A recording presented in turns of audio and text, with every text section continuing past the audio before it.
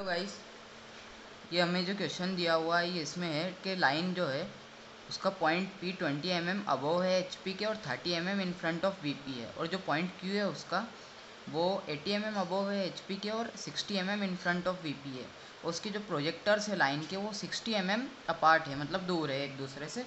तो मैंने दो पॉइंट ले लिए ओ और ओ डैश ये जो है, ये सिक्सटी एम एम एक दूसरे से दूर है। फिर देन हम twenty M M above H और thirty M M in front of P बनाएँगे तो यहाँ पे जो परपेंडिकुलर हम ड्रॉ कर रहे हैं, यहाँ पे हम ट्वेंटी और थर्टी ले रहे हैं। ट्वेंटी एम एम अबो लिया और थर्टी एम एम नीचे इन फ्रंट ऑफ़ वी जो आता है, वो नीचे आता है। ठीक है तो हमने यहाँ पे इनको पॉइंट दे दिया है। और thirty, sixty M M apart हमने ले ही लिया है तो ये जो है, ये एट्टी एम एम अबो आ रहा है एच के तो एट्टी एम एम अबो लेंगे इसको हम।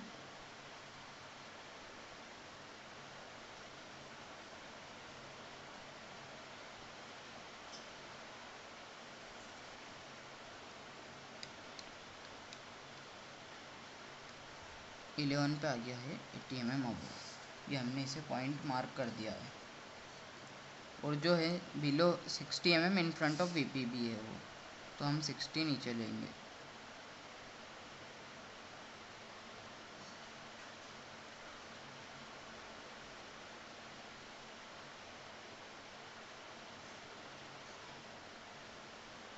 देन हम सिंपल करेंगे, ये सभी पॉइंट्स को मिला देंगे।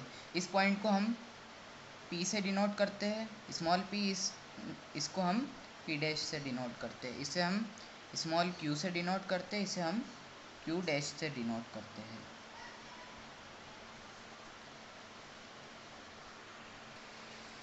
देन हम पी डैश और क्यू डैश को मिला देंगे। और इससे थोड़ा आगे तक लाइन भी ले लेंगे। इसको डार्क करेंगे हम और इसके आगे थोड़ा सा प्रोजेक्टर बढ़ा देंगे।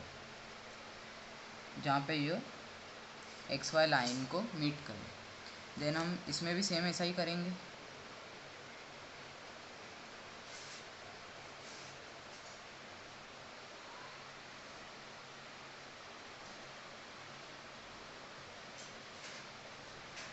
देखिए, आप ये ट्रेस बहुत दूर जा रही है तो हम इसे और एक्सटेंड करेंगे लाइन को, जहाँ तक ये रिफरेंस लाइन को मीट ना करे।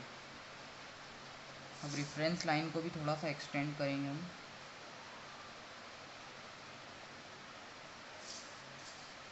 देन ये जो पॉइंट है, हमारा जहाँ पे रेफरेंस लाइन को मीट कर रही है, ये जो है हमारा फ्रंट व्यू है। फ्रंट व्यू की जो लाइन है, जहाँ पे रेफरेंस लाइन को मीट करती है, वहाँ से हम एक परपेंडिकुलर ड्रॉ करेंगे।